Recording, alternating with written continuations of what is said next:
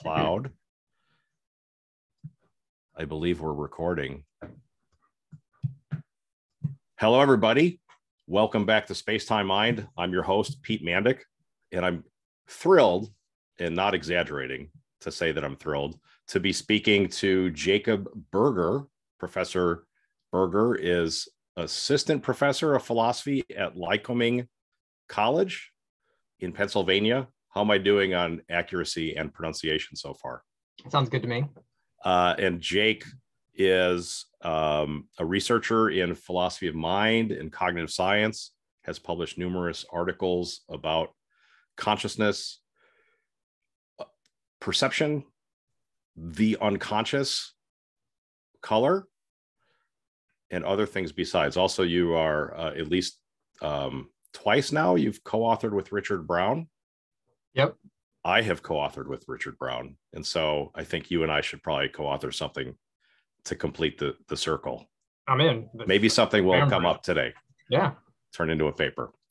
Um, so anyway, you know, people that know you probably know you as a higher order thought theory of consciousness guy, and people that really know you know that you're part of the hot army, a group of a group of philosophers who came out of the CUNY Graduate Center, worked either directly or indirectly with David Rosenthal, who's you know known as I, he's not as I mean he's like the main ambassador of hot theory. In my mind, the best articulator of the hot theory. Does he deserve credit for inventing or discovering hot theory, or do, is that one of those things where it's it's hard to say who came up with it first? Yeah, I mean, maybe his version of it, like um, like higher order thought theory, like assertoric higher order thought theory. I mean, there's definitely higher order theorists before David, like arguably Armstrong and Locke. Um, but yeah, right. the thinking that the mechanism is a thought and assertoric thought. I guess I would say that's David's view. Yeah, that he originated it. I think the for my money, the hot theory, which by the way, I don't, I, I'm not a hot theorist. I nonetheless love it. Uh, you know, I think there's this Alex Byrne quote from uh, this paper Alex Byrne wrote about the hot theory. I forgot the title of it, but it's something like, like it hot. Maybe it's the some like it hot paper, it, and he says something like um, towards the end, it, it's like the only theory of consciousness he understands, which is, and he and he feels bad that he had to refute it. something yeah, like, like that. I'm, I'm not doing justice to the quote, but anyways, I'm a failure or something like that. I think I feel like there's like, yeah. you know, uh, in conscious the consciousness studies literature, there's a lot of baloney out there, um, and I think of hot theory as a no baloney zone. I really respect the way in which the proponents of hot theory are very clear, really respect arguments, really respect trying to state clearly what what what's going on, what this is all about so what I was hoping that that we could do today in our discussion is start with hot theory, get you to to say what your understanding of it is. Um, you know, another thing that hangs together with all this is stuff about thinking of uh, about quality spaces, thinking of, for example, the perception or sensation of color in terms of something called a quality quality space. And then also you've done work on the metaphysics of color, and, and if we have time, maybe we could go outside of the mind and talk about what colors are. But who knows? It's you know, it's easy for these topics to just gobble up lots and lots of time. But would you like to jump into some some hot theory? Sure, sure.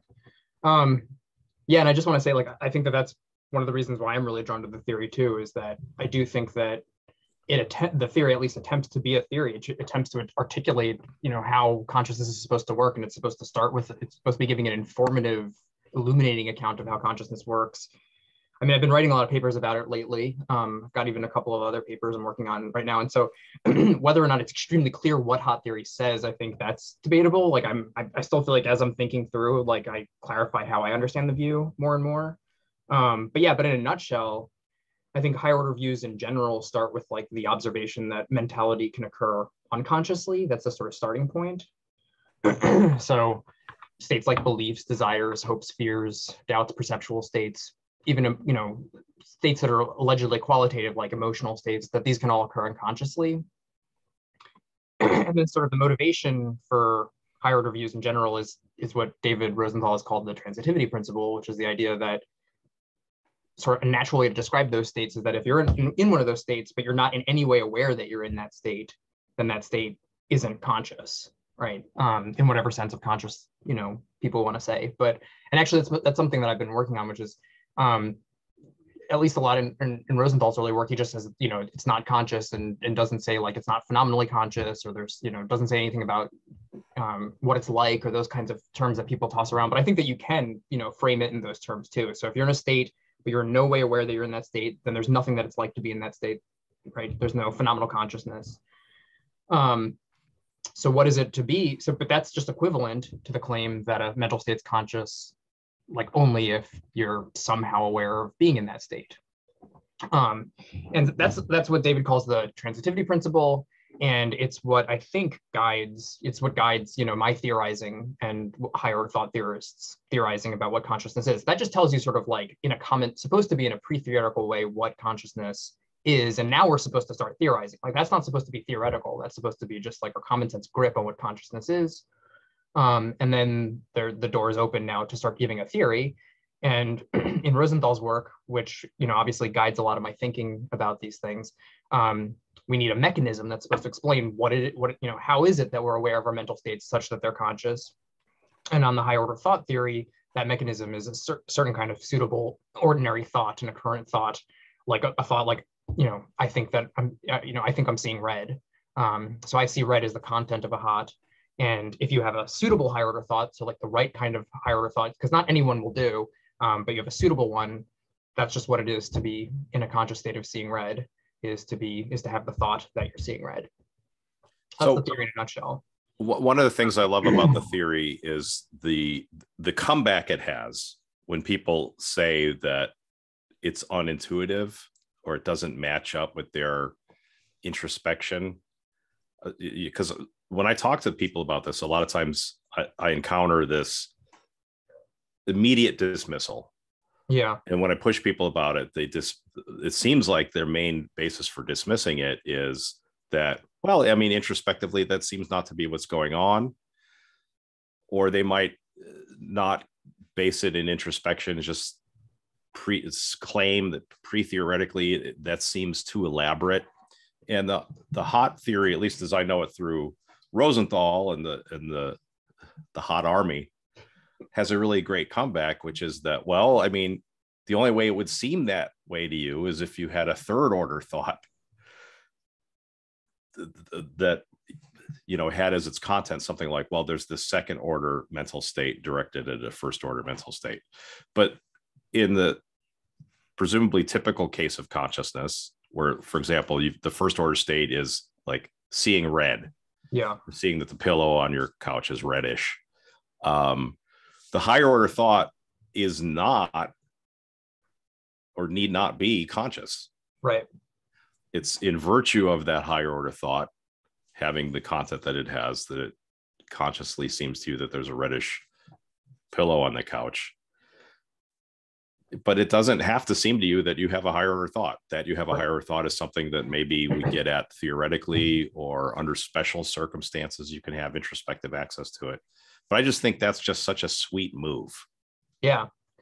Um, i agree. Yeah i mean exactly like you wouldn't be typically aware that you're in these thoughts because the thoughts are themselves not conscious. They're what makes the first order state conscious or what makes you aware of being in a first order state but you're not aware that you're in the state of awareness um, at least in the ordinary case.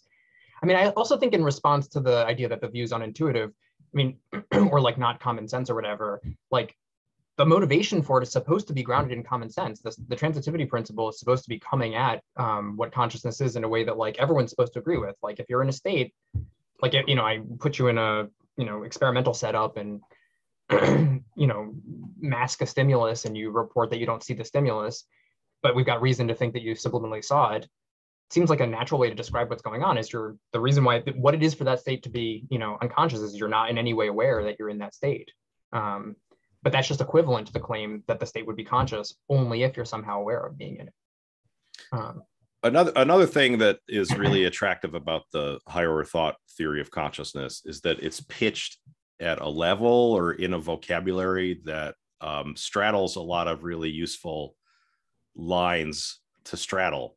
So one of them is the first person, third person distinction. Another is the theoretical and common sense distinction, right? So about the first person versus third person, our common sense mentalistic vocabulary, for example, talking about people having thoughts, th- these are things that we're all adept at, you know, past age, I don't know, two or five or something like that. We're all adept at first person or self attribution, but also third person attribution, right? We're, we have a pretty good handle on being able to tell things like, well, the dog is thirsty, or I think Jake is not really thinking about what's going on here and now. He seems a little distracted. That I just made that up. He seems perfectly non-distracted, ladies and gentlemen. Um, uh, but the, I think that you know the higher order thought theory in talking about thoughts and relating that to this locution of conscious of uh, and related things like aware of really helps show that we do have a third person handle on consciousness. And a lot of the consciousness studies literature is hyper focused on the first person i think and you probably would agree with me to the point of just overly fetishizing it. And and not being able to give any account of the the third person life that these concepts uh, live. But also to remark on straddling the the theoretical versus commonsensical distinction it is part of at least english. I, I don't know about other languages that that you have this construction where you could talk about people being conscious of things and you could relate it in a very natural way to thinking about things or having thoughts of things. And then from there it's only you know a short step to what looks more theoretical like for example talking about representations re- relating this maybe to a naturalistic account where you're giving an account of representations in a way that would be satisfying from a naturalistic or physicalistic point of view. So I, I, I, think those are the things that make it a super appealing and useful theory. And even if you don't fully agree with it, I still think there's nice chunks that you could you could take away from it uh, without fully endorsing it. One thing I wanted to come back to that you mentioned uh, early on is what arguably are competing ways of thinking about consciousness Mm-hmm. Uh, I, so one of them is this transitivity principle thing. Um, and correct me if I'm wrong. I, I think of it as uh, a, a, conscious state is a state of which one is conscious. Is that a pretty fair way of stating the, con- uh, the transitivity principle? Or well, so I think that yeah, I mean, or am I getting like, in trouble already? Well, I mean, you know, depends on how technical you want to get. I, I, I, actually think it matters a lot about what the right way to say the transitivity principle is, and I think that like there are sort of increasingly. Um, sorry, I'm getting a message on my computer. Sorry about that. Um, I think there are like kind of shorthand ways of putting it. So I think that's a perfectly fine shorthand way of putting it. I do think that um, if we focus on that way of reading the TP, it can actually get you into some trouble, like, you know, maybe with like so-called empty hot worries and so forth. And so I think that the more careful way of spelling out the, the transitivity principle is that one is in a conscious state when one is aware of being in that in a, in a state or you know a conscious state is a state that one is aware of oneself as being in so it's making the awareness targeting the self and as being in a state as opposed to a conscious state is a state you're aware of because that makes the state look like the thing the principal thing you're aware of? I, I predict we're going to come back to that. So we can maybe come back to that. So there's a kind of like, yeah. So, but maybe that's more detail than is necessary at, the, at this stage. But yeah, yeah, at like, least for now. For now, yeah. But yeah, I think we probably will come back to it because I, I'm I actually find pretty convincing a lot of the empty higher thought style objections. Yeah. Um.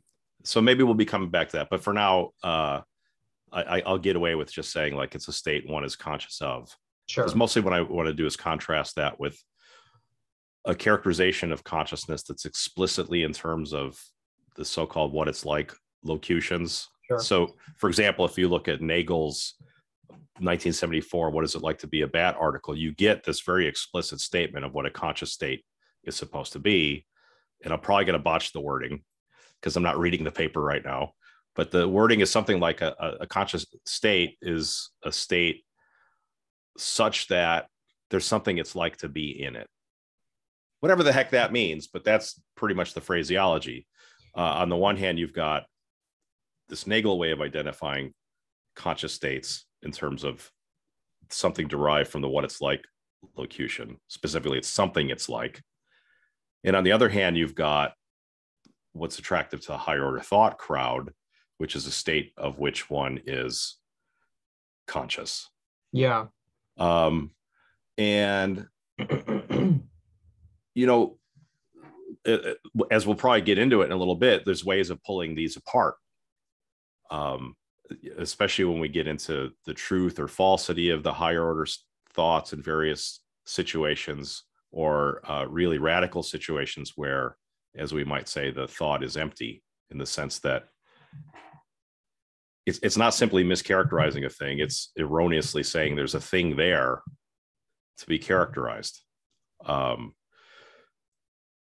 and so what to say about phenomenal consciousness relative to that becomes vexing. But maybe just since we're easing into the the water you could say a little bit about how what its likeness or phenomenal consciousness is uh is supposed to fit into this at least yeah. on your view of it yeah so like one thing that and richard brown here is really um, as you mentioned we, we wrote some papers together and he's really like influenced my thinking on this a lot that i think that there's there's definitely a way in which the higher order theorist doesn't have to to eschew or see that kind of alternative what it's like talk as being um you know like something that we have to reject or not a way to characterize consciousness but it just can fit with the transitivity principle and the way that higher order theorists prefer or more typically like kind of ease into understanding what consciousness is in the first place I mean, one little note that I'd make is, you know, I, also don't have the Nagel paper in front of me, but I know this is a point that um, I think that Rosenthal has made, and uh, I think Richard makes this point too,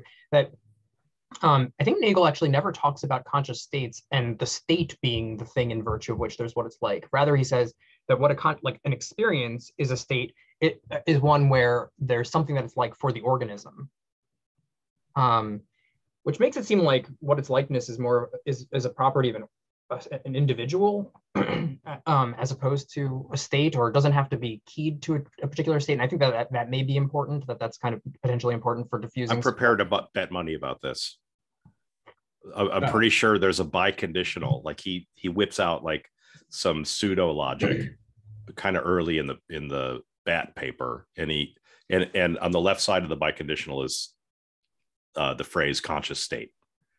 So it's, it really is something uh, I don't know. You know, I wouldn't bet millions, and not just because I don't have millions to bet, but I'm pretty confident that that you can find in the Nagel a formulation of state consciousness, and it's something like a, a state is conscious if and only if, and then I'm a little foggy on what comes onto the right side of the biconditional, um, but it's either something like um, there's something it's like to be in that state or it might use uh, that phrase plus also some something about in virtue of right? So it's a state in virtue of which there's something it's like to be in that state uh, or or the in virtue of which there's something it's like for the organism. But i'm pretty sure on the left side you do get state. a state conscious state which yeah. is interesting because then it allows you to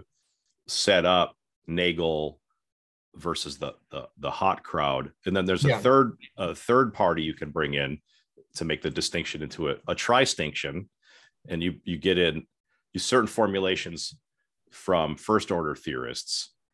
I think you can find Dretske saying stuff like a, a conscious state is a state one is conscious with and explicit denials that it's a state one is conscious of so these there's there's a there's a period, I think, in the 90s where Dretske is specifically going after what looks like a transitivity principle kind of formulation.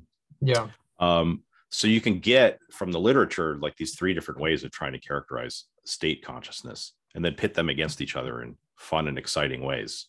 Yeah. Um, so you know one way to think about at least the the nagel stuff be, as being in tension with the higher order stuff is um i think going to get us into questions about like empty higher order thoughts. Mm. Uh, and then other questions about like should we think should we think of the higher order thought theory as a relational theory in in the Hmm. sense that um there's some first order state that can become conscious in virtue of there being a relation that it bears to a higher order state or uh, whether instead we should think of the higher order theory as non-relational at least in the sense that the higher order thought alone suffices.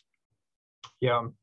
Um, of course you know all all of these various formulations can be thought of as relational in the sense that they would be denying intrinsicality.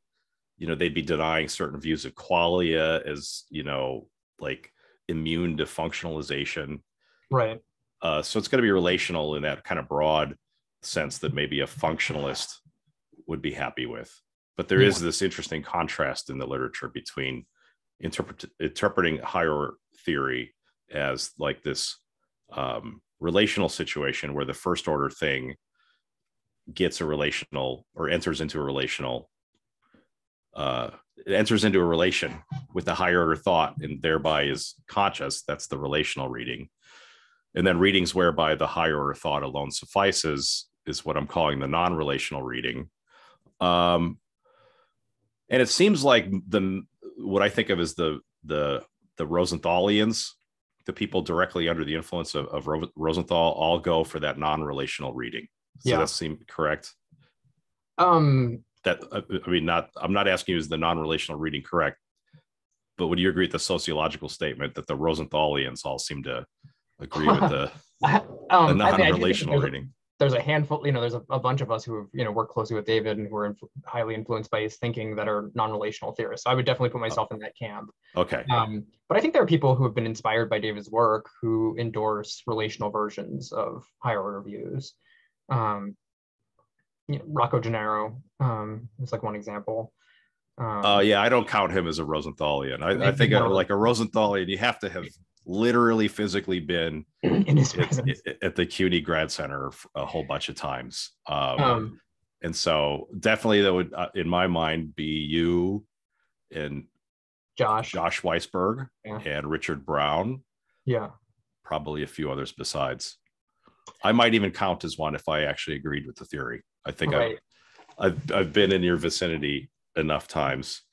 yeah. Uh, so Well, it is the correct one, and so you know you gotta study with uh with, with David to, to to hear the real story. I, I don't know if that's necessary, um, but but I but I do think. I mean, you said uh, setting a prescinding from whether it's the the right reading. I do think that is the right reading, and it is the right reading if you focus on thinking like I think if you read the transitivity principle in the right way. Um, so that gets connects to the point I was making before that you have to be sort of careful about what's the right reading and what's the right lesson to take away from the transitivity principle. So Uh-huh. here's the scenario that often gets discussed in these like empty, hot, hot sort of things. Um, so I have a higher thought whose content is something along the lines of um, I, Pete Mandik, uh, have uh, I'm seeing a green square. Right. And um, further, but just by some just a weird whatever, I'm actually not seeing a green square. I have a higher thought that I'm in such a first order state, but I'm not in any such first order state. Maybe I'm not in any visual state at all. Um, maybe I'm in a visual state, but none of the visual states I'm in has anything to do with see, seeing any squares or seeing anything as being green. So it's an empty higher thought. It, it would be like um, if I were to believe that the rhinoceros in the room behind you was playing the tambourine. There's no rhinoceros behind you. No one's playing the tambourine behind you. So that'd be uh, not just false belief, but it's like subject term doesn't refer, uh, non-referring. Um, it, it, it's hard to know how much philosophy of language to get into when you're trying to deal with these philosophy of mind things. Yeah, the, that's the general picture of what a empty higher thought is supposed to be. Yeah, and some people have said like, okay, you higher thought theorists, in this empty case, there's no first order state. So what do you say about this? Like, so for example, you could ask questions about what it's like. What is it like to be you when you have this so-called higher order uh, empty thought? And it's uh, this empty higher order thought is very tempting to saying that what it's like to be you in the empty case is exactly what it's like to be you in in the so-called non-empty case where you've got the same higher order thought but it is accurately representing my first order situation yeah um what it's like to be me is the same and now yeah. this looks like it's on the edge of being a paradox or contradiction if there's no first order state um then then uh what it's like like but there's still something it's like? If there's something it's like what is the state in virtue of which there's something it's like? It's it's tempting to say it's the higher thought. Right. That's the state in virtue of which there's something it's like that the high higher thought alone suffices for me to have the what it's likeness and this is how i read richard's read on all this stuff that with respect to if you want to use phenomenal consciousness to track this like Nagelian what it's like stuff yeah then it's the higher order thought that is the bearer of that phenomenality. Yeah. Um, but there's no first order state. So there's nothing that has state consciousness. So it looks like I don't know what to say about this. Like one, there's some people have tried to describe this whereby higher thought theory is just stuck with a full on contradiction. Yeah. There's another way of describing this stuff where you all aren't saddled with a contradiction, but you nonetheless have this kind of maybe slightly awkward situation whereby um, your theory is not really about phenomenal consciousness, and that's what all that's supposed to be the real target, right? Saint Chalmers has taught us that that's like what what you're supposed to solve for when you're solving for the hard problem is phenomenal consciousness, and then you higher thought people. Ah, we knew it bait and switch. You weren't talking about phenomenal consciousness after all. You're talking about this other thing. Call it introspective consciousness or reflective consciousness or or what have you. It's right. not phenomenal consciousness. Um, so anyway, I forgot where this is all going, except to just uh, try to prompt you to to say something about like, what seems like a nest of problems here. Yeah. So there's a lot of problems. I mean, so maybe maybe we go to be back up and just say exactly about how I think that we should think about the original motivation for the theory for higher order theories in general, which is so I don't think that a conscious state is a state that you're aware of. So putting it that way makes it seem like there's got to be a first order state. It seems like it's mandatory that we have a what you're calling a relational view of higher order awareness. So you need to have an actually existing state of higher order awareness, an actually existing first order state, and somehow the higher order state like kisses the first order state and makes it conscious, right? Um, and I don't think that that's a good way to think about like intentionality generally. Um, and that's why actually I prefer to almost get rid of awareness talk if we can. I mean, we can use awareness talk if we're careful, but like maybe instead just talk about like seeming like so. I think that if you're in a state and it doesn't seem to you that you're in any way in that state, then that state's not conscious. So what is it to be in a conscious state is for it to seem to you suitably that you're in that state. So what a conscious state is, I think if you're being careful about thinking about the, the central insight of the transitivity principle is that conscious states are apparent states. They're states it seems to you that you're in. They're states that, of appearance. Um, they're not the states in virtue of which it appears to you that you're some way, but they're the states that appears to you that you're in. Okay. And once we use this appearance talk, which is, you know, Rosenthal has, you know, he has this kind of slogan that he has in a lot of papers where he says things like consciousness is a matter of mental appearance. I think that that hammers home this kind of central insight that our theories of consciousness are supposed to capture that conscious states are not, they don't need to be real things. They're things that appear to us in a certain way.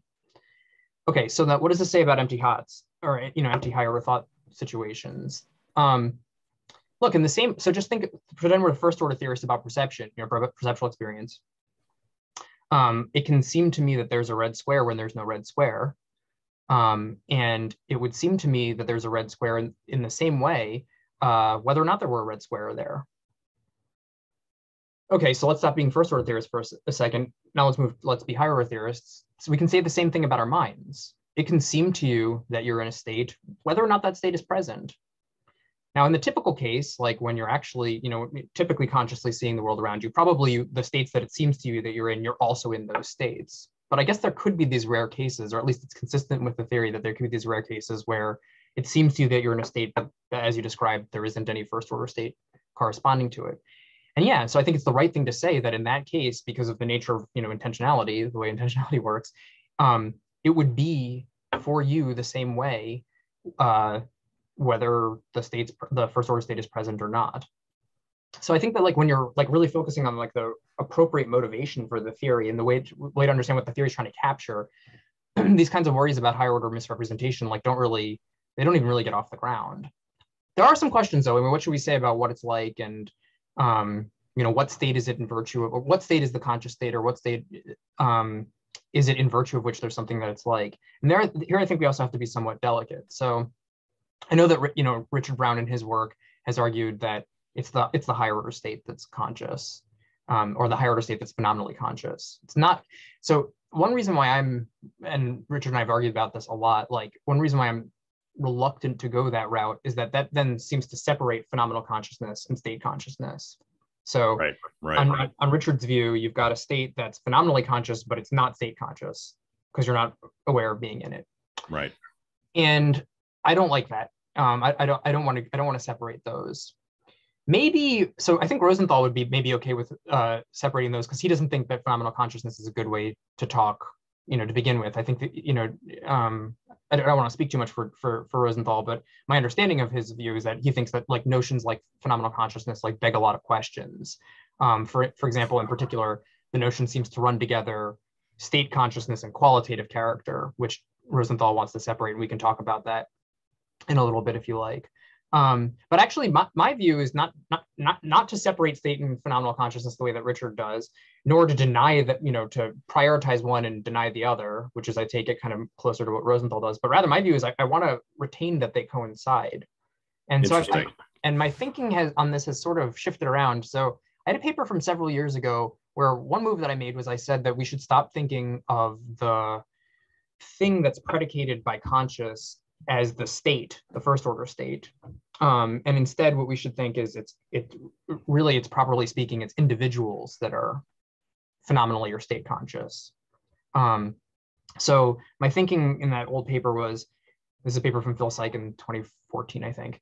Um, so I say like uh, the right way to read the TP is that if you're in a mental, if, if it seems to you, if sorry, if you're in a mental state, but it doesn't seem to you that you're in that mental state, then that mental state's not conscious, but that's equivalent to an organism is phenomenally conscious, or an organism, an individual is state conscious if the organism is aware of itself as being in a mental state. And so, properly speaking, what's phenomenally conscious or state conscious isn't a first order state because that needn't exist, but rather it's the it's the it's a property of the individual. Um, and the individual is always present whenever there's something that it's like. Yeah. So something that's like for the individual, and that's why I kind of like wanted to. Well, I'm hoping that I'm going to go back to my Nagel after uh, after this uh, chat. Um, that that the formulation can be put in terms of not talking about conscious states, but rather talking about um, when it, when an organism is having or when an individual is having an experience, there's something that it's like for it. What what does that mean? Uh, the individual has a property, the property of being phenomenally conscious or state conscious, and other some theorists I think have have been moving in that direction. Um, I uh, I think Jeff Speaks um, has a paper where he says we should stop talking about consciousness as being a property of states and instead talk about it as a property of individuals. Um, Martine Nida-Rümelin, I think, also has a paper where she argues something along these lines. So I think that that maybe that's one way to go. Um, but I've actually more recently, um, I'm, I'm, currently working on a paper with jo- Joseph Gottlieb. Do you, do, do you know Joe? I don't think so. Uh, the it the name does kind of ring a bell. He's another um, I would say he's, you know, uh, David inspired, but wasn't around the grad center. Um, okay. So, uh, but yeah, but he's written a lot about uh, about high order views. He's he's not he doesn't like outwardly endorse them, but he's definitely like drawn to them. You know, at least thinks they're on the table. um, and has he's defended in some work some interesting like variants about higher order views. He's got like a view about that the higher order state's not a thought; it's a kind of uh, like a map-like rep- representation. But anyway, but he's drawn to higher order views, and we're working on a paper right now together, trying to articulate kind of what higher order views hold. And we, have come, he's he he came up with a distinction, so I want to give him the credit. But an interesting distinction, which I think really helps make sense of kind of one thing I want to say.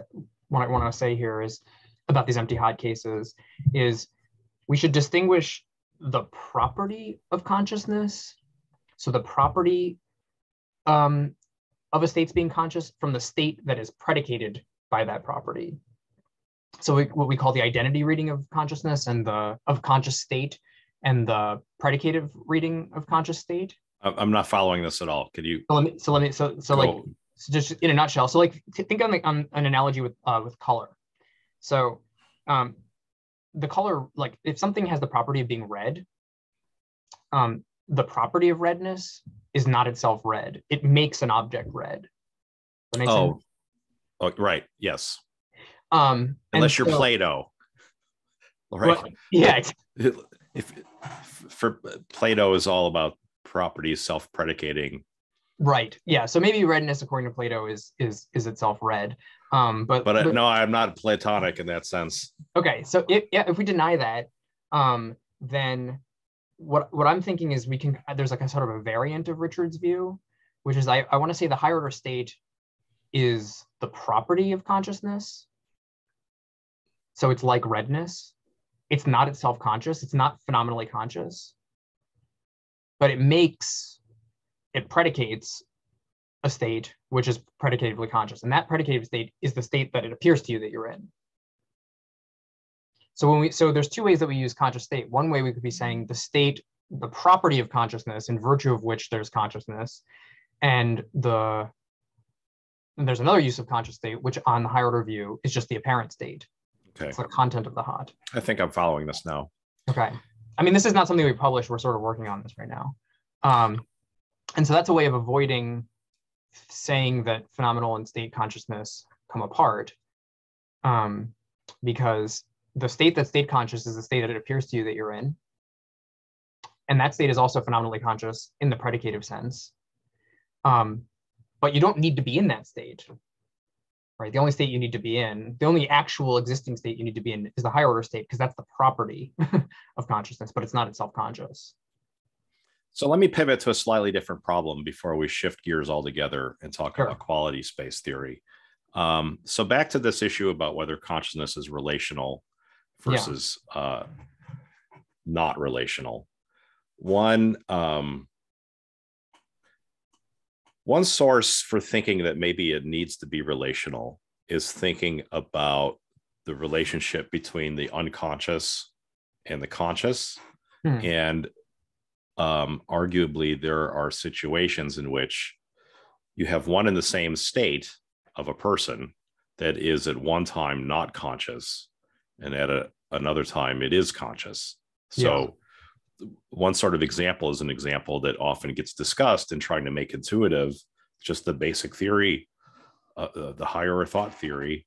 So, um, you're talking to somebody and their behavior is very angry. They seem angry the way that the way they're moving their body, their verbal behavior is very angry and you point it out to them because they're your friend or your partner and you know um, you don't want them to to be angry. And if they are angry you want to find out why. So you ask them something like well why are you so angry? And initially they deny that they're angry. I'm not angry. What are you talking about? And then they hear them their own voice and it dawns on them that yes they are angry. They have been angry. Um, and maybe you can get into some fine grained stuff about how to count states of anger. Yeah. But at least one plausible way of describing what's going on here is there's a state of anger that initially was not conscious. They weren't consciously angry. And then they became conscious of their anger. It's the same state that is at one time an unconscious state, and at another time, it's a conscious state. And it looks like the most straightforward way of describing what's going on here is one that would comport best with the relational reading of the higher thought theory of consciousness. You've got this first order state, which is the anger state. And then this higher order thought comes on the scene. And it's in virtue of this relation that the first order state goes from being unconscious anger to being conscious anger. So that looks that looks like it's you, you got to say something relational there. Um, and, and you know, so I've heard Josh Weisberg, at least in conversation, flirt with a kind of disjunctive theory, whereby in some case, just like in disjunctive theories of perception, when they're dealing with the argument from illusion, you say something like, in some cases, you've got these perception or perception like states that are relational that involve a relation to stuff in the external world. You've got other cases in which there isn't the external relatum. And so, what unifies this category, the category being perception like, is this disjunction. Um, and so, you know, maybe say, yeah, sure, in some cases, there is a, like, it is a relational thing that's going on. In other cases, it's not a relational thing that's going on. And then the super category, which is the, you know, what's going on with consciousness is going to be a disjunctive theory. Yeah, I'm, I'm reluctant to go that way. I mean, I, I think that's setting up like, if you if you will, like the problem of consciousness. Like, what's the central question that a theory of consciousness is trying to answer? I think one way in which it's often set out, which invites a relational view, which I think is ultimately question begging, is you know, um, what is it that makes a state that is unconscious? What makes that very state become conscious? Right? What what needs to be added to that very state for it to become? And so, of course, you've got all these first order theories where like, oh, it's got to enter the global workspace, or it's got to be suitably informationally integrated, or whatever. It's got to be a state that your state you're aware of stuff with, like if you're Dretske. Um, uh, and then of course there's a kind of high order version, you know, that of that, which is well, you just add a high order state that's directed at that state. And I think that that sounds natural. Um, and so I understand the reason why, you know, I think that there's a kind of more neutral way of putting the central question of consciousness, um, which doesn't beg the question against um, non-relational views, which is just what's the difference between an unconscious state, like subliminally seeing something or being sublim- being unconsciously angry, and an experience of seeing something, or uh, you know, the experience of anger, or its conscious counterpart, if you prefer. Um, and that doesn't in, that doesn't make the assumption that what's happening is you've got some state and it's got some property that it's kind of taking on or, or and you know it's either got it or it doesn't have it. It's either being targeted by a higher order state or it's globally available or whatever you want to say. And richard and i in one of our papers we call this that assumption that you've got to have something like that and you've got to frame the problem like that the experiential property assumption. And we just think there's just no motivation for it. Um, so in your case you know you've got your buddy shows up they're angry but they don't know that they're angry and then you're like dude are you angry and he's consciously angry I, here's a neutral way of describing that case. You know, they were unconsciously angry, then they're consciously angry. What's the difference? And here's the difference that um, after you called his attention to it, he became aware that he was, he became aware of himself as being angry. And that doesn't imply that there was anything like added to the state of anger. It's true that the state of anger, the first order state of anger, probably didn't change. In fact, here's I mean, here's an argument. There's a zillion arguments I think against relational views. For one thing, I think that they just lead into empty hot problems, which are intractable. But setting that aside, I mean, how could a relational higher order theory work? I mean, it, it just doesn't make sense to me. Like, what is a higher order theory? What is a higher order thought, which is just supposed to be a thought?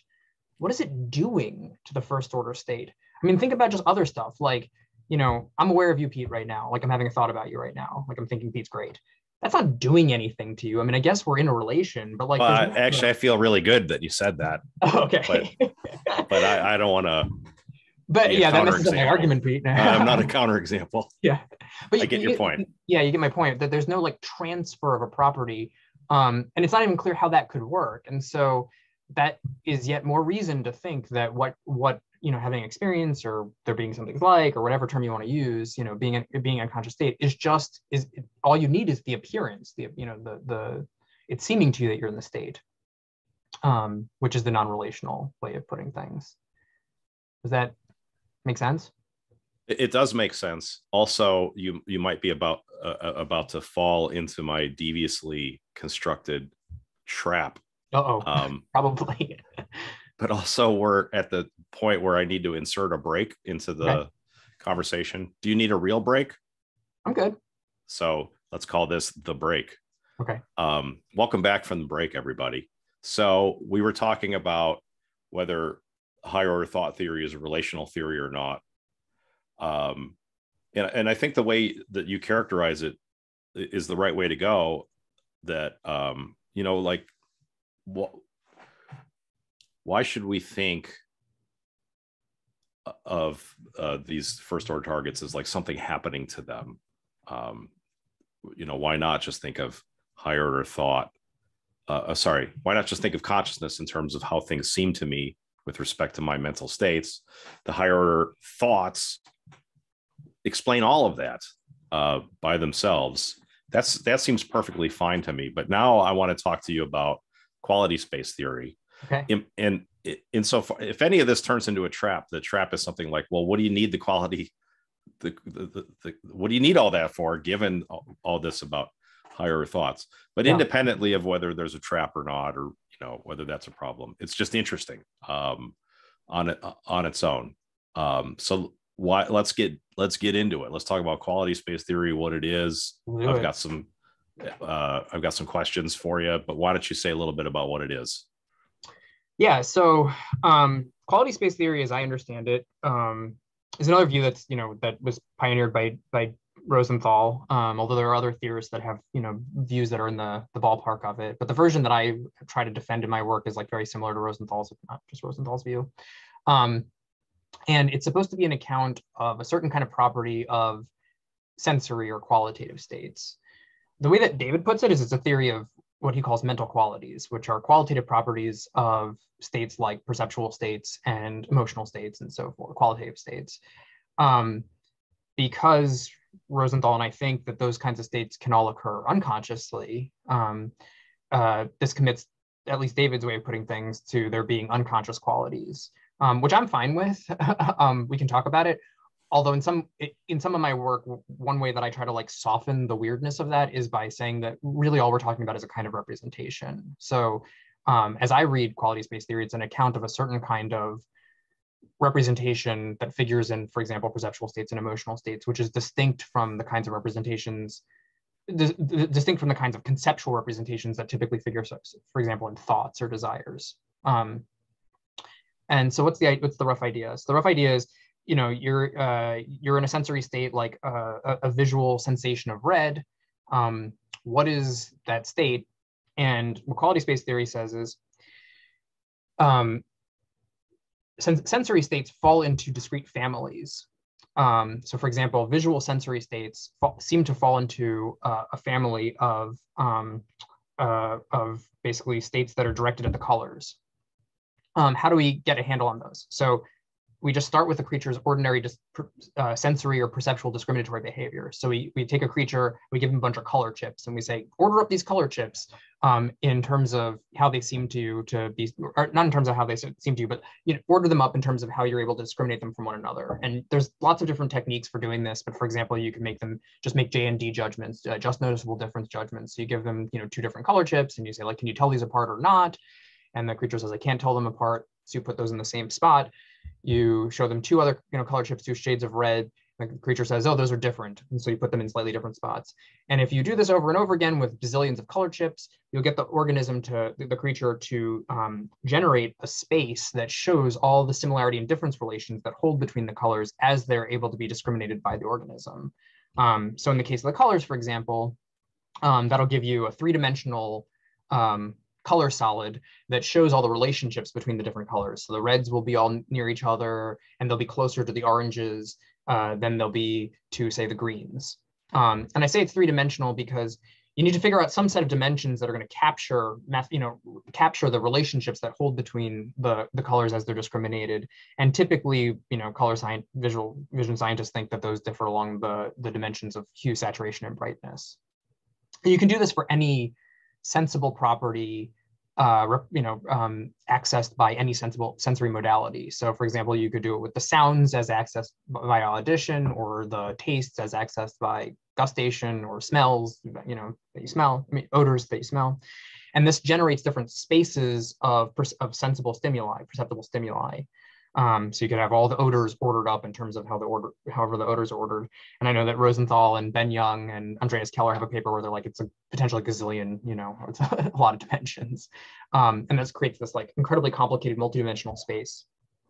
Okay, but so the but the central insight of the view, as far as I understand it, is in order for a creature to be engaging in these kinds of discriminatory behaviors that are captured by having this space, they need to be able to be in, in states sensory states that differ in the same in, in ways that mirror the ways in which the sensible properties differ. So if i'm making discriminations between red and you know different shades of red and red and orange and red and green i need to be able to be in states that also di- differentially differ from one another uh, in ways that mirror the ways that those properties differ.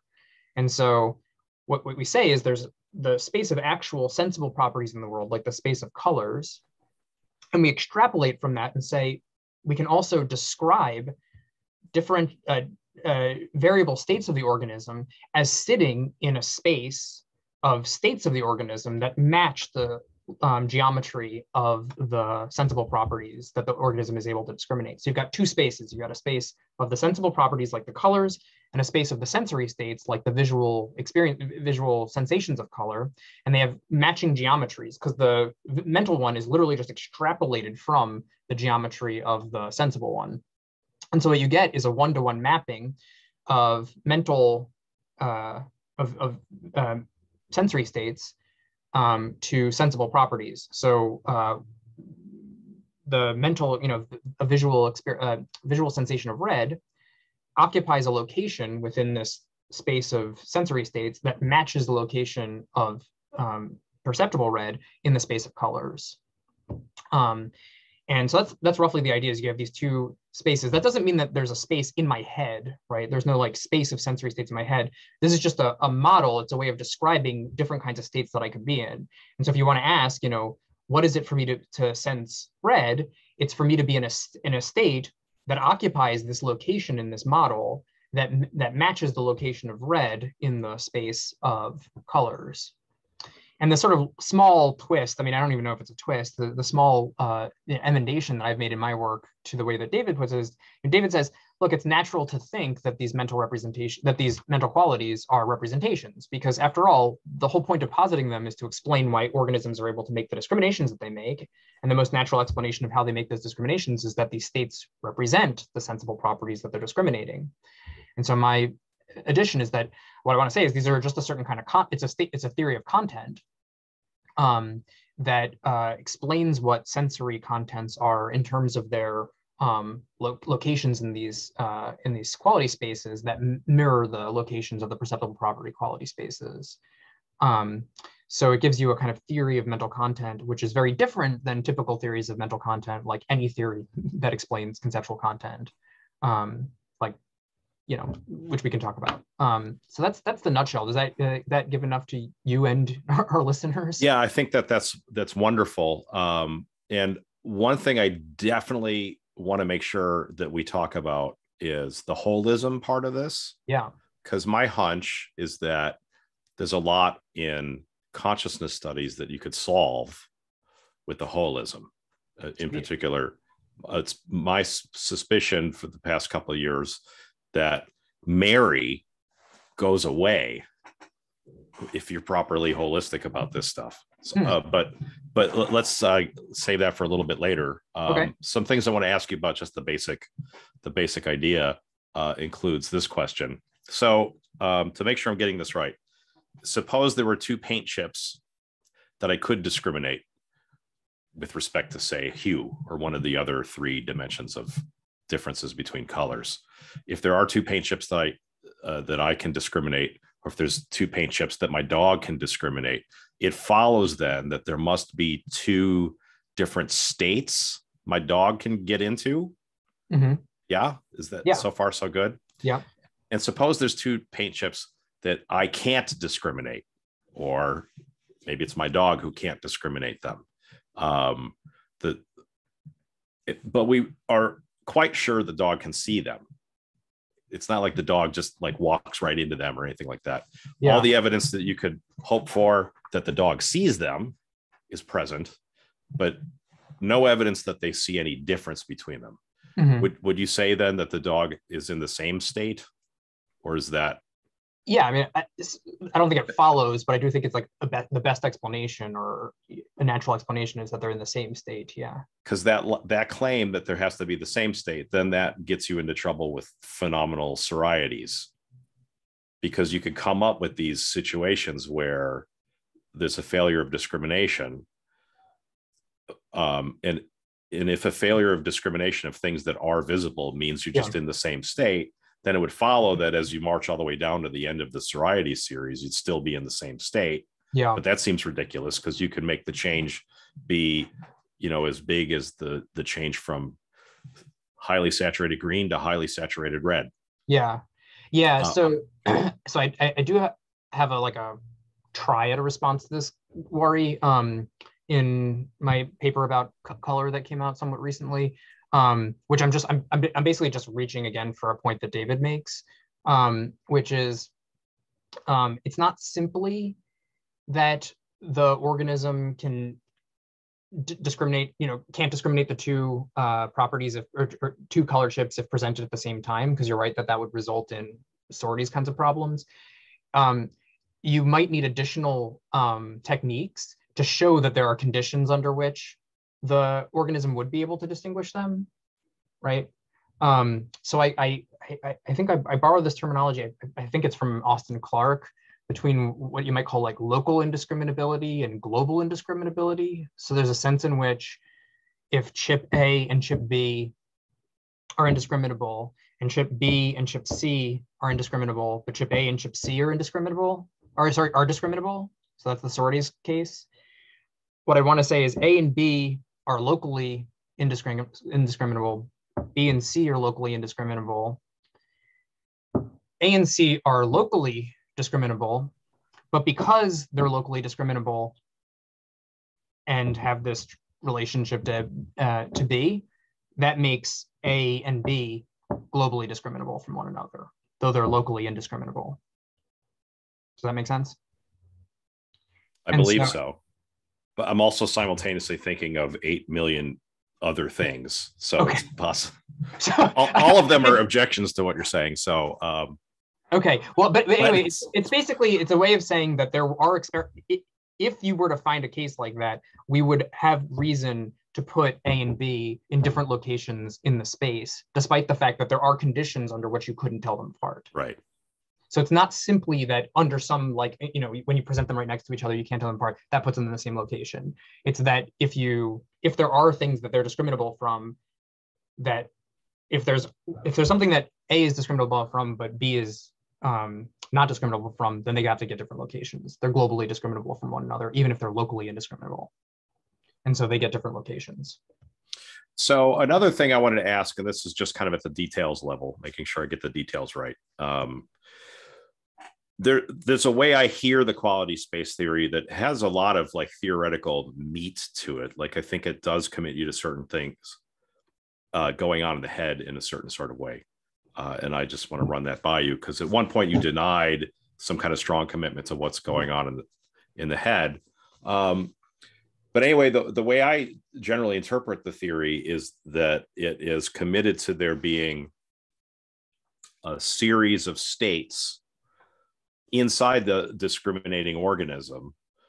And the, the, the states bear relations of resemblance and similarity to each other that aren't exactly the same relations of similarity and difference as the discriminated properties. But nonetheless, are they, they aren't. So Yeah. uh, there's like they might be states of my nervous system, Yeah, uh, and nothing in my ner- nervous system is bright green. Right. Um, and, and even if it were, it wouldn't make Yeah. sense to say that I have states that are bright green. But let's Yeah. just you know Yeah, let's pick bright green. My brain is in no way bright green. Um, yet I'm able to discriminate all these different shades, all of which are some shade or other of bright green. Yeah. Nothing in my brain is bright green. Nonetheless, my brain states um, are, you know, maybe it's states of activation uh, where you're you, you've got something like um, spiking frequencies Mhm. right? And you could order the spiking frequencies in a way and talk about like this one being greater than that one, and this one is even more greater than this third one and, and that set of relations will bear a second order isomorphism to the discriminated properties so even though the the brain states don't have a, a greener than relation they have a higher spiking frequency relation and and the, these two structures one of them is a set of things in the environment and relations defined over those things the other is a set of states maybe in my maybe in my nervous system maybe in my martian foot bladder but anyway some, some somehow there's yeah. things inside me yeah. that that are have this structural relation to the things that are outside of me even yeah. though they don't have the first order resemblance of the things in here being bright green right. just like the things out there are.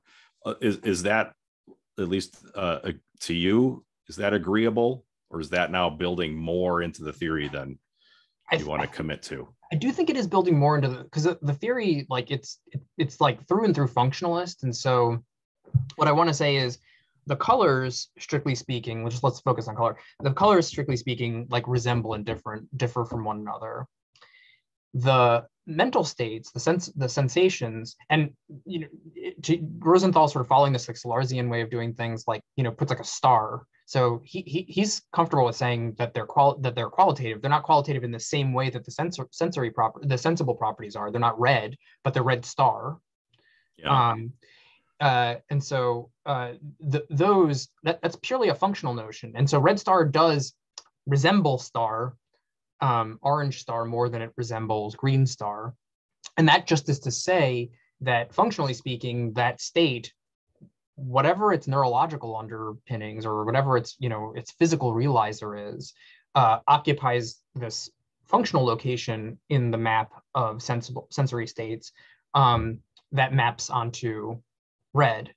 Um, and so I don't want to say that there's any predictions about the physical states qua physical states having to resemble or, there be any ordering of them. Like i don't know i guess it's conceivable that like a really fast firing rate could be you know compatible with the state or, or realizes the state that enables me to discriminate red. A really slow one um, is what enables me to discriminate orange and something in between is what enables me to discriminate green. I mean it'd be weird if we were built that way that's interesting. compatible with the view that i'm suggesting. So um you know uh Gallistel see uh who is that? Uh, I'm blanking on, on, everything but their last name.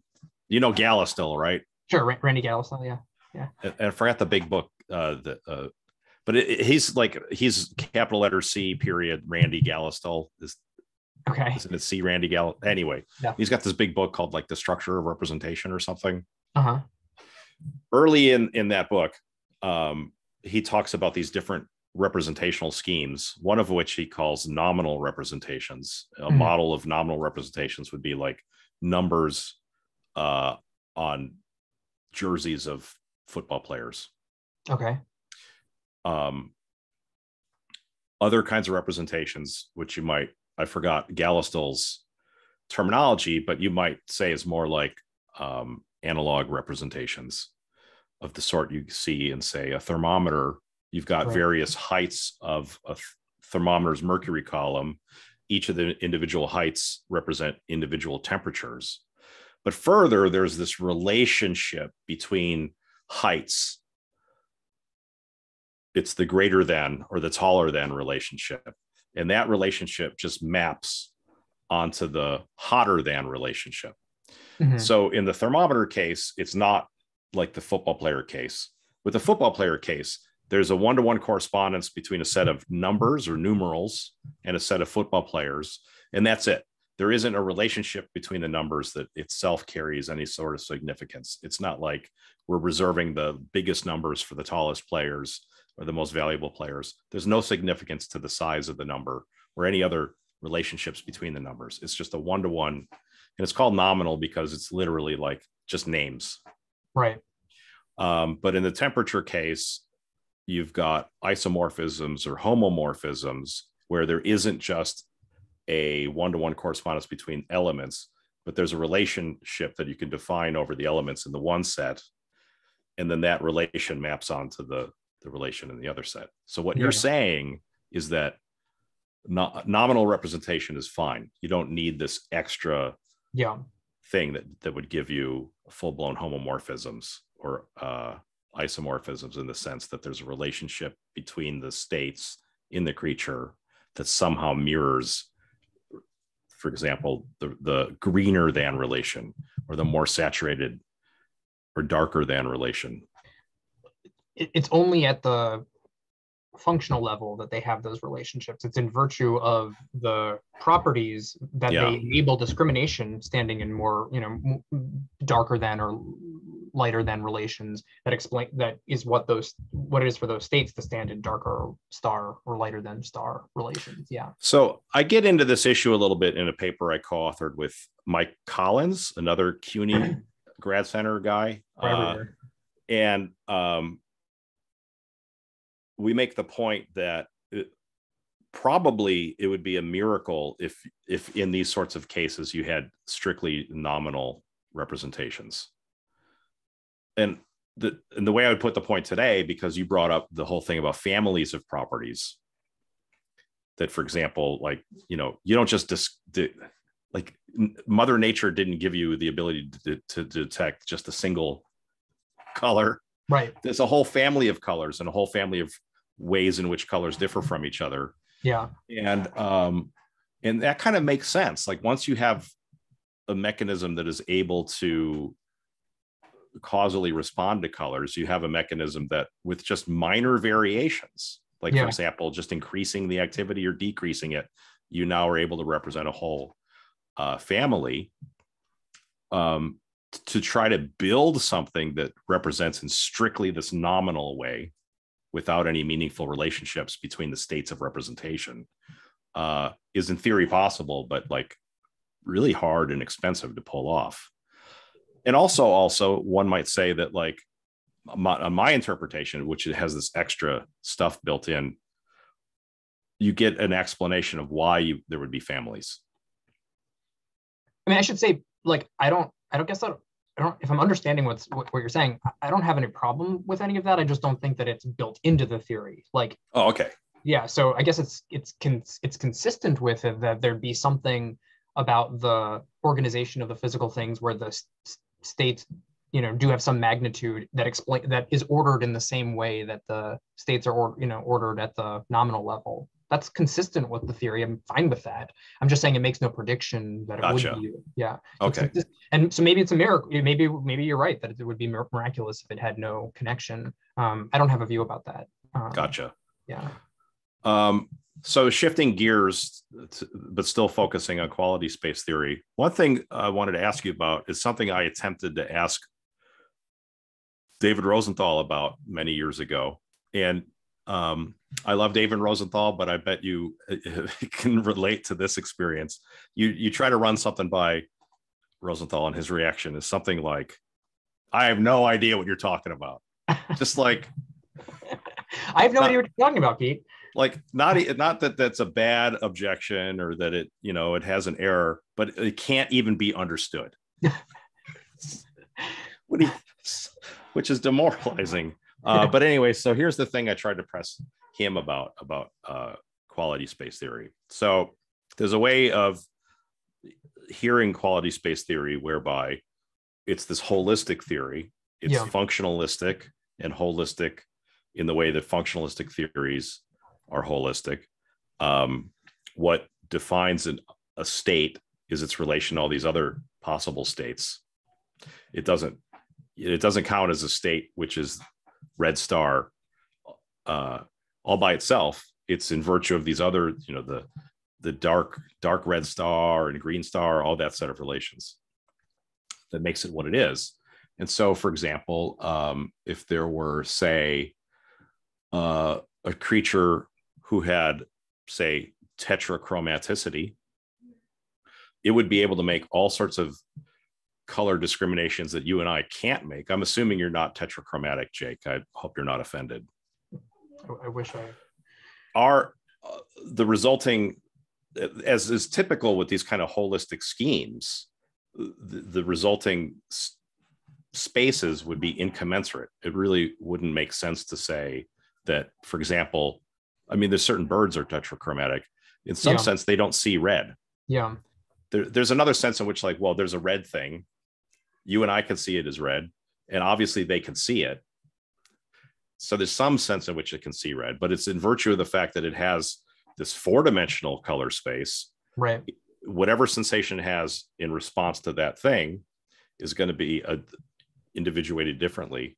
And it's the same kind of incommensurability problem you get in say philosophy of science when you're Mhm. trying to compare Kuhnian paradigms Yep. or in uh, the philosophy of mental content where you know do you and i mean the same thing by assassin yeah if i believe that someone could survive a successful assassination attempt and you don't believe that do Right. we really mean the same thing by assassin on Yeah. a holistic uh, way of thinking of these things so anyway this is just a setup to the point of the, the try to thing i was uh, wanting to press rosenthal about right what I asked Rosenthal uh, is Are the discriminations that one can make consciously the same discriminations one can make unconsciously, or vice versa? Or, in other words, is it possible that there are things that you can uh, discriminate consciously, but not unconsciously, or, or vice versa? Mhm. And to that, he said yes. And then I said, well, isn't that a problem? W- wouldn't that be a problem, for example, uh, in the claim that these qualities, I say while gesturing towards all my, you know, red stars, all my color stars, these could occur unconsciously yeah wouldn't you on this uh holism if you if you think that you get different profiles of discrimination behavior in the conscious and unconscious conditions wouldn't then you be forced to say that it's directly analogous to the thing we were saying about the tetrachromatic bird yeah it, the colors we see and the colors it sees can't be the same colors. Similarly, the qualities that uh, I experience unconsciously can't be the same as the ones I experience consciously. Mhm. And that's when Rosenthal said, I have no idea what you're talking about. Jake, are you going to say that you have no idea what I'm talking No, about? I think I I think I know what you're talking about. So I mean, I, I, let me say a bunch of things. I don't know if it actually means I understood what you're, talking about. Uh, Um, but uh, no, if I mean, you don't understand what I'm talking about, that's fine. I won't. No, I think I, I think I do, and I think and look, even though you and I have different conceptual schemes, I'm a conceptual semantics person, and think that we probably do mean we. There's a sense in which we mean slightly different things about by assassin, and there's a sense in which we mean the same thing. Um, and I think that we can capture that even on holistic views of mental content, um, either on the conceptual side or on what, what I'm calling this like non-conceptual side. So, like, how do we do that? like th- let's think on the con- conceptual side just as a as an example like you know you you and i draw slightly different inferences about what what assassin like how assassin works or like you know we draw different inferences like with thoughts about assassins and so if you think that what makes a, a state have the content that it does is it's like inferential profile right your disposition to make different inferences then sh- there's a strict sense in which you and i have different thoughts about assassins when we think them like we don't even like don't even have the same concept um, but I feel like it, I think so. I, I addressed this objection in some of my papers, and I think I quote or cite a paper by Churchland. Doesn't he have something along these lines on the conceptual side of things, where he says like, yeah, I was going to bring it up. yeah, be- before you mentioned it. Uh, yeah, he definitely, you know, if you if you embed what you're talking about in this kind of connectionist framework, yeah, then you can you can introduce these metrics whereby you can meaningfully say like well this conceptual scheme is more similar to this conceptual scheme yeah, than another. And that would and and there's other churchland papers where he talks about basically quality space theory. Yeah. and you could fit that into this connectionist framework also so you Now, might not y- y- it might not work for you on about concepts because you know it but churchland's already committed to a certain way of thinking about concepts whereby there's not a big difference between conceptual stuff and non-conceptual stuff in, Yeah. in, in some sense it's all non-conceptual right. it's just these states of, of neural networks for which you could define these similarities across different networks or di- across different persons so I don't really want to go the full Churchland way, but I take the sort of lesson is that there's a sense in which we can compare different networks of relations and describe them as roughly similar. Um, and so that you and I use assassin slightly different differently um, it's not enough for us for any practical purpose we'd say we're using the same concept like it has the same rough location in our nodes of inferences that for all for all practical purposes we would never notice that we're not using it the same. However i think there's a value in in holding that there's a way in which you know maybe to some extent there is like a technical sense in which we're meaning different things. Because after all you and i could like come to this kind of point where we're confused with each other. How, how can you think that you know you can survive an assassin an assassination attempt? And then now now we're at the place where our conceptual schemes rub against each other and like now it does look kind of like we're using the term differently. And so i think there's a practical sense in which we can compare different you know inferential networks but but strictly speaking they are slightly different and i think the same kind of thing can be said on the qualitative side of things um, when it comes to tetrachromatic birds or whatever. Um, I mean, there's there's some difficult questions about exactly how we want, like which space we want to consider to be like the space. Um, but basically, what I would say is it's it's the largest space that can be constructed by or across organisms of roughly the same kind. And so, if birds discriminate a few colors more than we do, but not like a ton ton more, and not in all kinds of wild, crazy ways, then I would say they can just see more of the color. Their color space is slightly larger than ours um, just like you might be able, maybe you're more erudite than me and be able to draw more inferences than I can. Um, but nonetheless, we're able to sort of like jigger my color space onto their color space to be able to make comparisons to say, actually, we are, you know, roughly seeing the same color. Um, or it might be that their space is so wildly different than ours. Like, you know, one thing I consider in some papers is like you could imagine, you know, stealing this example from Adam Pautz, like you could imagine an organism that's like totally different than us, organizes the colors up and the colors and the, the precipitable colors in all sorts of different ways.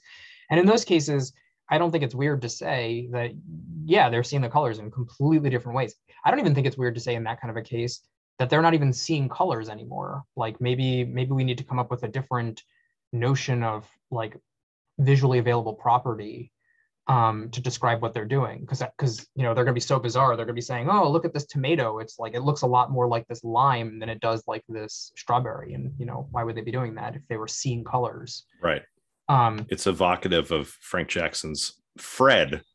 Right. The uh, the forgotten character from the mary paper. Mary got all the press and everyone forgets about fred. Yeah but, fred. but fred is able to see colors that we can't see. Right and um, anyway, I'm mostly just trying to segue into Mary.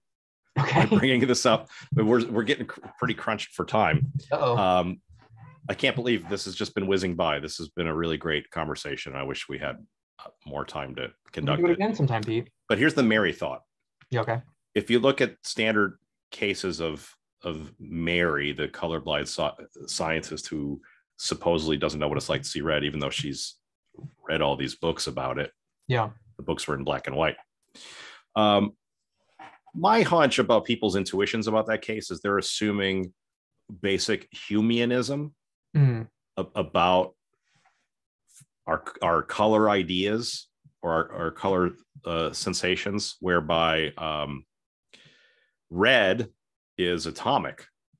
Yep. For things that are holistic, and I think this is the same kind of holism that you're talking about yeah. for things that are holistic, like for example, Hume's missing shade of blue. Right. What it is to be that shade of blue is something that relates to other shades of blue. It uh, it relates to other uh, things that of the same shade but aren't blue. Yep. Um, people don't have the same intuition that, that you have to have seen that shade of blue to know in advance what that shade of blue is going to be like. Exactly. As I'm hearing the, your holistic interpretation of quality spaces is giving you this family of representations that are individuated in a holistic way. Throughout there's none of them that you could say these are the atomistic ones out of which you build these more complex ones. It seems to me that everything then is like i mean everything that's sensible everything that can be sensed is on a par with the, the shade of blue that you could come up with a scenario where Mary hasn't experienced it yet. But since it's not atomic, there's no bar from her knowing ahead of time what it's going to be like. Yeah, I, I the, exactly. And I, you know, David Rosenthal has a paper called um, "There's Nothing, There's Nothing That It's Like to Be Mary," or, or "There's There's Nothing About Mary," um, which is a hilarious title, which I think um, I think I came up with it actually. Um, but uh, but yeah, but Uh, where, where he argues something along these lines that basically, yeah, when you're thinking about color holistically in this way, um, it's that's our third personal account of color experience, and so there's not mysterious at all that she would be able to come to know what red is like without having seen it. I remember reading that paper when it first came out, uh, Yeah.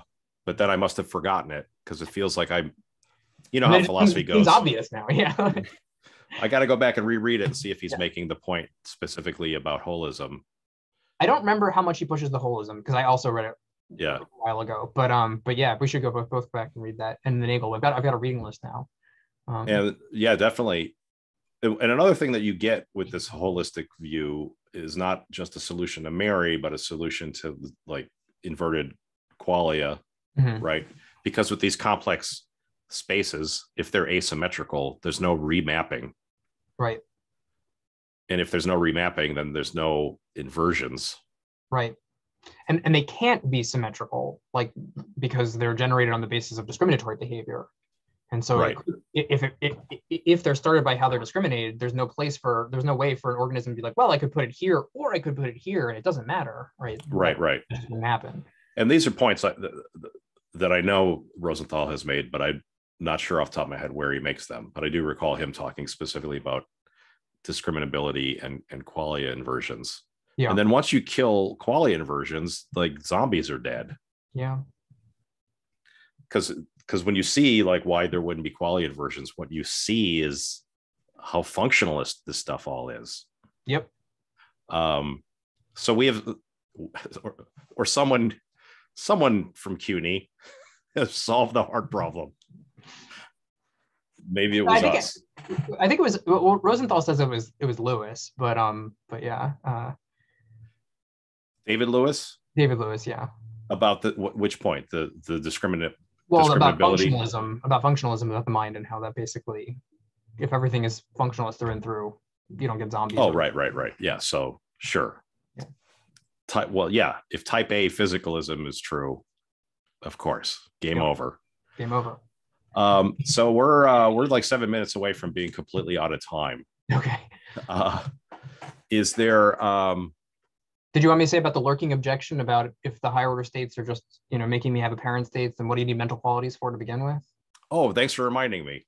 Yeah, what do you need? What do you need the mental qualities for anyway? Like if two, two, two things at least. Um, so one thing is that they're they're when they're actually instantiated or when they have to be instantiated, is that they're features of first order states and the first order states like so it's a typical objection or it's a it's an objection people have raised to higher reviews which is like if you think if you're a non-relational higher order theorist what do you need the first order states for to begin with? But the higher order the conscious states are posited to explain things like your reports that you see red um, and your you know the phenomenology or whatever. But it's not supposed to be explaining like for example your discriminatory behavior. Um, the fact that it seems to me that i see red isn't going to explain why i discriminate red from blue. That i need to actually see red and blue. Right? I don't i can't the appearance of my seeing red or blue is not going to explain is not going to explain what seeing red or blue is going to explain. Fair enough, like if you if if what we care about is a full theory of the mind or full theory of behavior, sure, quality Exactly. spaces have earned their keep. But but I want to push a version of this that's just focused on consciousness. yeah Do we need if for explaining consciousness, what if anything do quality spaces do for us? Well, you need to explain the contents of the higher order thoughts. You need to explain what what is the higher order state representing, right? And um, in the case of perceptual states, for example, what what it is to think to yourself that you're seeing red is to think to yourself that you're in a state that has mental red. Um, it's not to think to yourself that you're in a state that has red, right? Because it doesn't, right? As you pointed out, your you know brain isn't neon green. Um, and I guess you could try to cash it out as I'm in a state that represents red or something like that, or puts me in contact with red. Um, but that's just what mental red is. Um, it's the state that puts you in the appropriate kind of sensory contact with red. Um, and we just don't think about you know sensory contact or sensible representation. These are all you know technical notions that are not in folk psychology so that's not the way we think about ourselves. We think about ourselves in our folk psychological terms. And one of the folk psychological con- concepts we have is of our me- mental qualities. Um, so that's the now that isn't the actual mental quality playing you know a role. That's the representation of a mental quality playing a role um, but that, but if you, you know, if you push the subject objection far enough, you could ask, you know, what do I need first order contents for? Right. You know, first order conceptual contents, like the, you know, the thought that there's a piano in my office. Um, right. What do you need those for? Because the, all I need in the higher estate is my thought that I'm thinking that there's a piano in the room. And that's, you know, not that I'm, I'm, I'm, not quite understanding your answer. Um, uh, so I'm asking from the point of view of co- consciousness, what do we need the first order stuff. Uh, I'm sorry, what do we need quality space theory for? And part yeah. of your answer was, well, we need it to explain the contents, co- the contents of the higher thoughts. Yeah. By which you mean something along the lines of like an externalist theory of content, whereby like, you know, we need on Twin Earth, we mean something different by water because there's a different thing out there that caused our water tokenings. But on Earth, we mean that no, stuff. Not, I'm not thinking externalistically. I'm thinking like, so if I have a thought that I'm seeing red, what that is is what that really is is the thought that I'm in a state that you know I'm in a state that has mental red.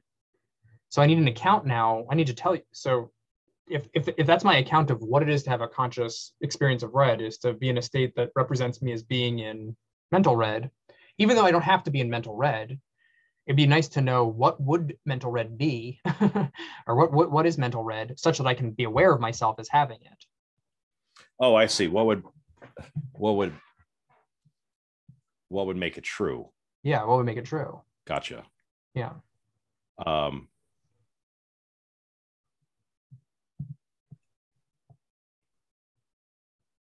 this i'm looking at the clock. I'm not going to be able to squeeze this in in our, our remaining minutes.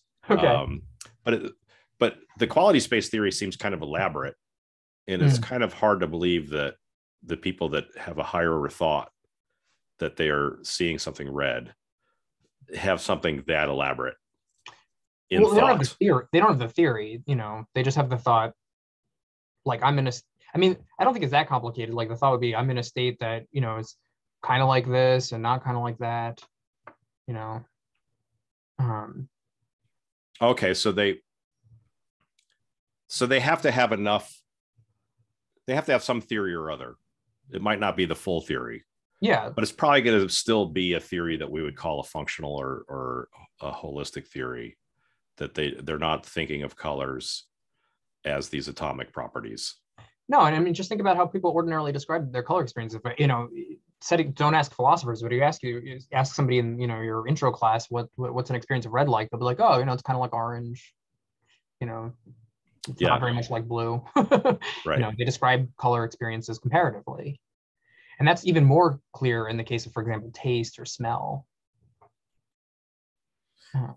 Well we're we're getting real close to the very very end and there's a whole bunch of stuff that we're just not going to have time to talk about like for example conceptualism yeah, I, I, really do want to talk content. about conceptualism at some point because uh, actually Rosenthal and I are working on a paper right now uh, against conceptualism. No. Yeah. I'm a, uh, you know me. Well, I'm, it's kind of, it's in. I'm it's a conceptualist. We, we, I know, I know it's it's it's the view that um, perceptual states have both conceptual content and mental qualities.